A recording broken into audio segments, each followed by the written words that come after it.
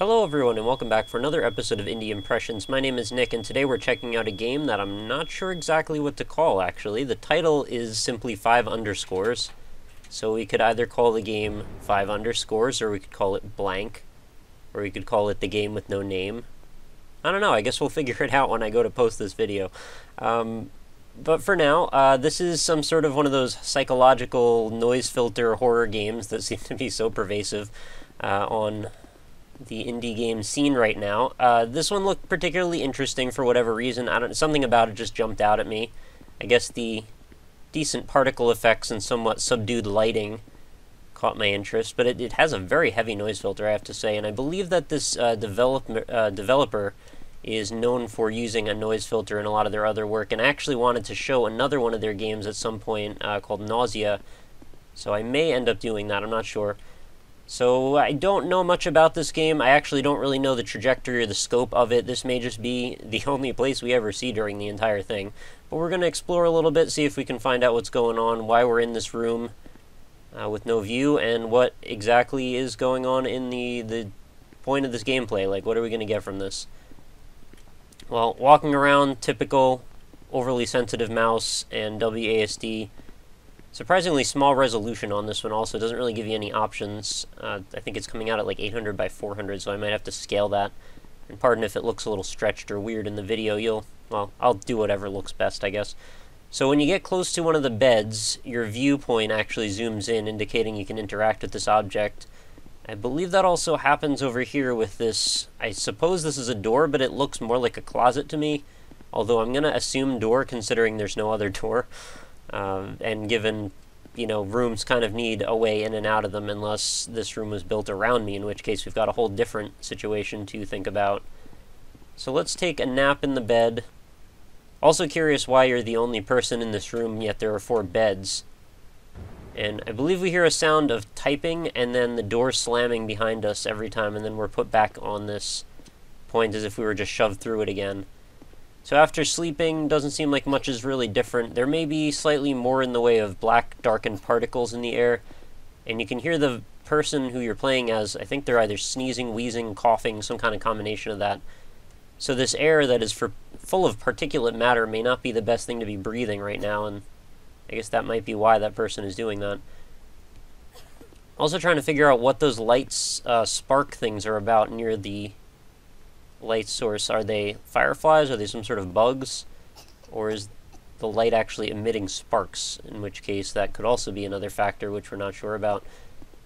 So I guess psychologically we're supposed to feel very stressed that we're trapped in this room. There's I don't know what the noise filter is really supposed to do. Uh, maybe to give you a reinforced feeling of isolation and some sort of relative darkness, because I guess when your view is kind of restricted from extra light, your eyes start to flicker a little bit like that somewhat. Although I'm not sure how accurate that is as a representation. I guess if it was very, very dark, I could feel that way, but it almost looks like we're looking through night vision goggles, which, I don't know, maybe that's the case. So I'll sleep in another bed here, see what happens next. Doesn't seem like I can do anything else. More typing. Another door slam. Alright, now we've got more wheezing and coughing, and what looks like scorch marks on all the walls. Is it supposed to be mold? Is this room getting perpetually more decayed? Is this uh, time passing? Or is there some sort of like pyromancer activity going on in this room? Either way, that sounds interesting. Can I leave? No. Okay, when I click on this, it makes a slamming sound indicating that I cannot leave. Just in case you couldn't hear. So it seems like we're meant to just keep sleeping in this bed or any of these beds as long as we can stand to keep doing that. Oh, it may not actually be typing in between each room transition. It may be some sort of, uh, like, springs in the bed from you getting out. But we never get to see what's out there yet. I don't know about isolation. Like, this doesn't make me feel particularly isolated even though we're in just one room. It's like, there needs to be a little bit more tension to get us to that point where we're worried about that. Right now we have absolutely no point of reference aside from these beds. There's like nothing that gives us any character, and I guess there's like moderate level of sterile looking decor on the wall. uh, given that it's got that stripe. Which is actually just making me think of like the archives from GoldenEye, except that was green. Also curious how tall these ceilings are. Like they are so tall you can't see the top of them. So like what's going on up there? Probably nothing. Like are you planning on housing a room full of giants? Yeah, the coughing is getting a little annoying.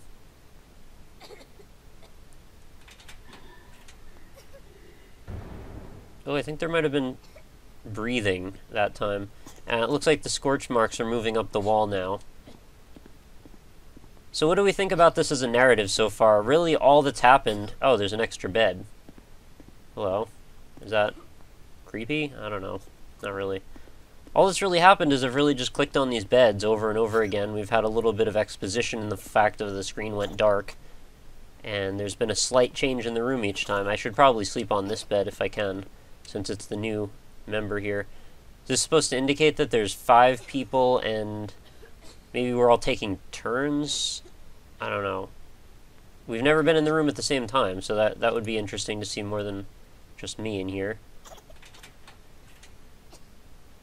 It also may just be the, the door opening, that uh, hinge sound.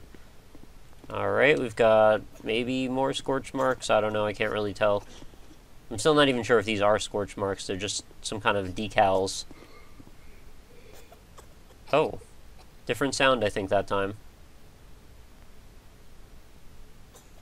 I don't know if you caught it. It sounded like someone down a long, like, narrow passageway, like a heating vent or something, gasping. It's a little slightly creepy, I suppose. So we're still suffocating to death. Maybe we just need an inhaler, really.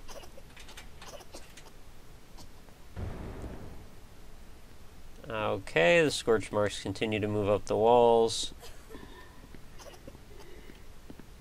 And now we've got six beds.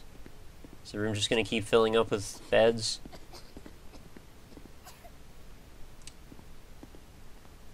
May also be worth mentioning that the wheezing coughing sounds are actually coming from different stereo directional points.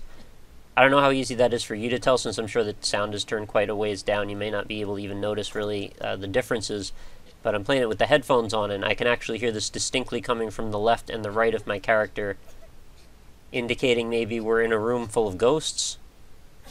Maybe there's some distinct spectral activity going on and we're, uh, we're just not able to tell. I guess if we look at it that way, this seems a bit more compelling, but right now it seems a little bit slow. I mean, also slow considering I've just been taking my freaking time. That far away cough is definitely the creepier sound. Alright. Call me a cynic, but I have a pretty strong suspicion that what we're building up to here is nothing. um, I'm kind of hoping we get to go maybe outside of this room and see what's going on here, or at least get some background information, but I just, I've seen a few of these types of games, and it seems like often the payoff is never, you know, as big as you'd hope.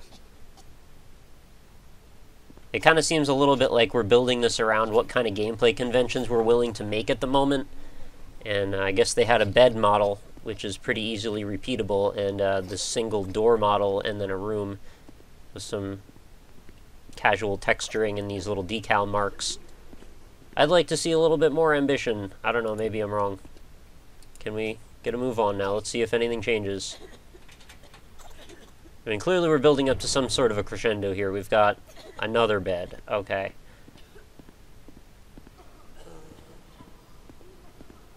Is this the medical reception, like, ward for the denizens of Silent Hill after they've moved on and been deceased? Been declared deceased? I mean, this is reminding me a lot of, like, the ashes going through the air. You know, it was supposed to be like a coal miner's town, and there was a fire under the ground, and everybody was killed or something, and the whole town was turned into ghosts. And then, uh, of course, that the whole situation with the daughter getting lost. Okay, I, I get it. Lots of beds. Clearly we're in a room full of ghosts at this point. Okay, the faraway wheezing reverb sound from the what sounds like an older person, like a man, is definitely becoming more prevalent. Because most of these voices have sounded like children And also the size of the beds would lend me to believe that as well. Probably putting a little bit too much detective work into this, but I'm just going with what I can here. Oh, nasty. Like a horrible smoker's cough going on here. Alright, the room is almost completely full of beds now. I mean, obviously this is just supposed to be a psychological thing here. I mean, we're not probably supposed to have that much uh, ambition in our gameplay expectations.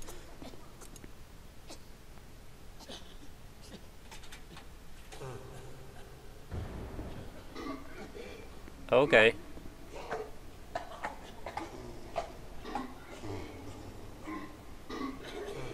Just want to let that sink in for a moment. So aside from just the crazy flickering, which doesn't seem to be emanating from this light, uh, it seems to be emanating from within. So this is like a, one of those, like a horrible don't smoke infomercial. I think the room might also be getting darker.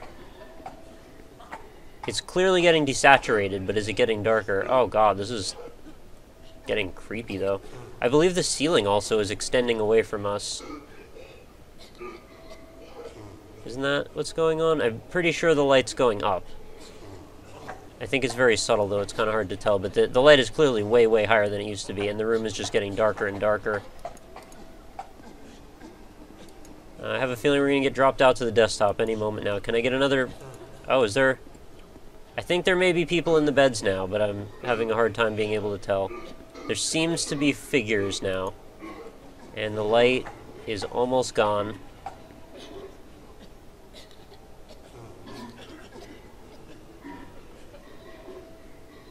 Yeah, it's definitely a bit on the creepier side now. And now my mouse pointer showed up, so that's probably that.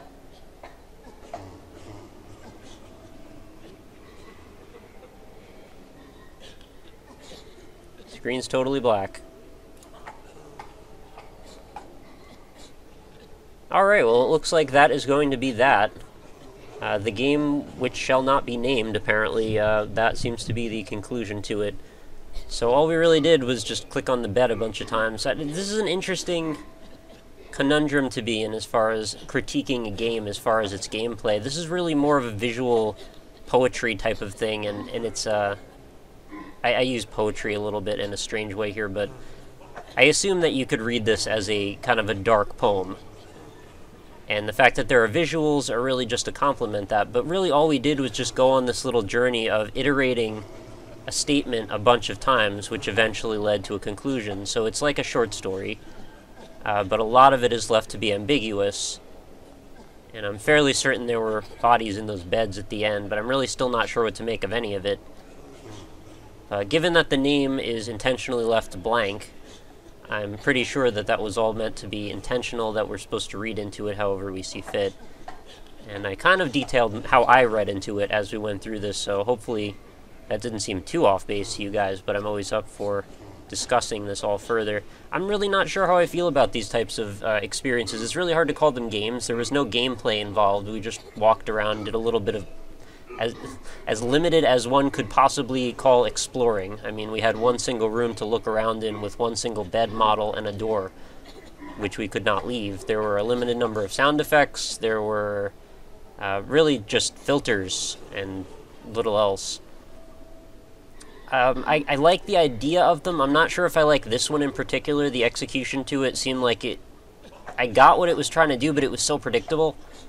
And I've seen so many of these now at this point, I feel like as soon as I start them, I almost sort of know how this is going to end. It always seems to end in some sort of like, okay, everything's fading to black, absolute terror and horror. Um, it's like they're closing up the well in the ring or something. It seems like they're going, kind of going for that. Just like absolute dread and desperation and terror and fear. Only I, I didn't quite get to that point. And when you have that sort of a moment, for it to really be successful in a poetic sense, I feel needs to really build up and have some characterization so you care about what's going on. In this case, it was also just completely arbitrary. You know, I didn't have anything perspective-wise to put in uh, my own thoughts into. It was just whatever I could read from this fairly, and I don't mean this to be rude to the developer, but it is a sort of a bland environment, and then probably intentionally so. uh, to give you that feeling of being in some sort of a clinic or just a really depressing, sad space.